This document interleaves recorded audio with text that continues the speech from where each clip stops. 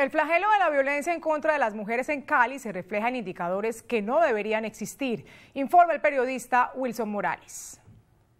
El más reciente caso de una mujer muerta en Cali de forma violenta fue el que se registró en la mañana de este sábado cuando los bomberos encontraron el cuerpo sin vida de una de ellas con graves quemaduras en medio de un incendio registrado en un motel en el centro de la ciudad, situación que alertó a las autoridades toda vez que ya son 56 las mujeres asesinadas en Cali en lo corrido de este año.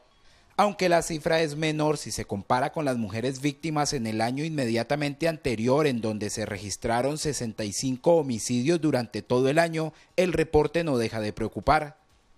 Pese a las cifras, es notoria la reducción comparada con otros años como en el 2017, en donde el reporte de víctimas de homicidios de mujeres alcanzó los 96 casos. Entre enero y octubre de este año, la Fiscalía recepcionó 5.403 denuncias de violencia en contra de la mujer